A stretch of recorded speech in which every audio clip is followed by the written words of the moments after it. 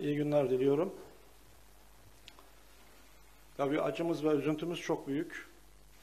Özellikle günlerdir Gazze'nin bombalanması, sivil halkın katledilmesi şeklindeki eylemler dün gece bir hastanenin Baptist Kilisesi'ne bağlı bir hastanenin bombalanmasıyla tam bir vahşet boyutunu almıştır.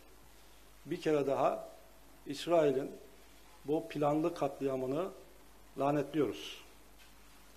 Bu insanlık tarihinin gördüğü en büyük katliamlardan, en büyük vahşetlerden biridir. İsrail insanlara kendi topraklarında yaşayan insanlara hayat hakkı vermiyor, onları bombalıyor.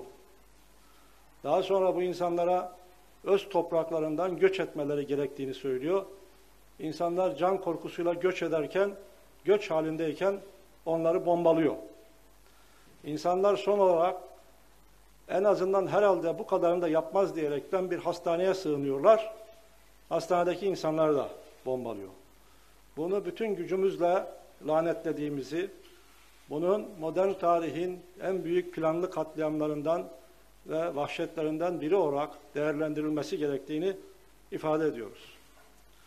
Bu çerçevede burada hayatını kaybeden şehitlerimize Cenab-ı Allah'tan rahmet diliyoruz.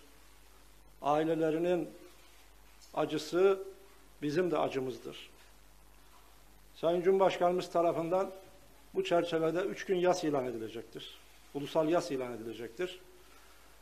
Bu büyük milletimizin Filistin'deki mazlum çocuk, kadın, sivil, yaşlı masumlarla dayanışmasının, kalbimizin ve bütün varlığımızla onlarla birlikte olduğumuzun bir ifadesidir.